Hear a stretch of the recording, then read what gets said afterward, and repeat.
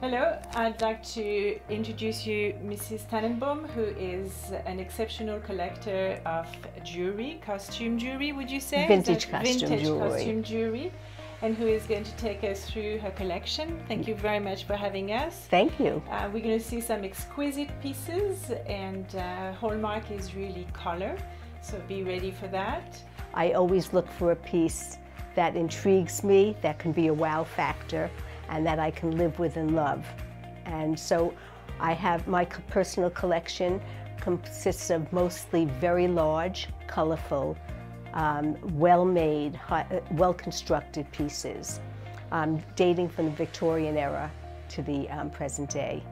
My favorite era is um, the Hollywood because they really knew how to pile it on. Most of the things you're going to see are really outside the box, oversized, and very colorful.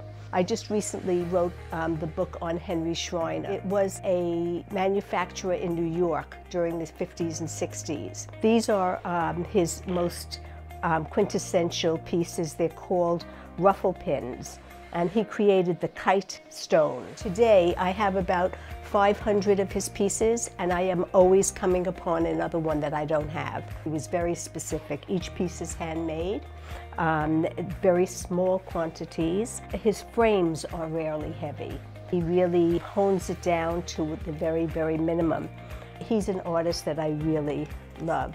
And I go from that, from the 50s to contemporary. These pieces are by an Israeli designer. Yeah, Dorit Dekel. that's exactly right. I was wowed by her sense of creativity, daring, color. Every year I go back to pick up another piece from her. I, I think her work is great. I am a great fan of Bakelite from the 30s. I have a vast collection. I love the fact that in the 30s, when there was Great Depression, and um, they had all of this material um, that they used for radios. They were able to create inexpensive jewelry for the public. I started collecting 35, 40 years ago. This is probably the most unusual Bakelite that I have in my collection.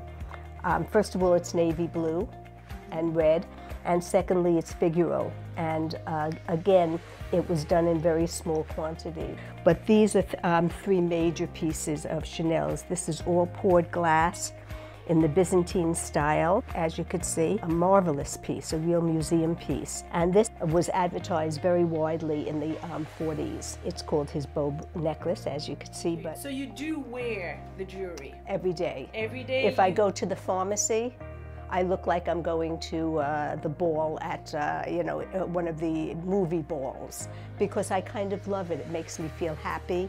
It makes me feel um, educated. I, I- feel good when I, um, when I wear them. I was in the art world. I was a corporate um, consultant and um, it was the early 80s uh, when things were really not doing too well corporately. And so there was a lull, and Howie and I went to London, a- as we always did, to um, find our other collectibles. We're voracious collectors in many fields. And I would, um, I discovered this, this cachet of the most beautiful jewelry. I was captivated by these objets of art, you know. And so I bought 20 of them at that time. And I started looking for them wherever we went, I would look for them.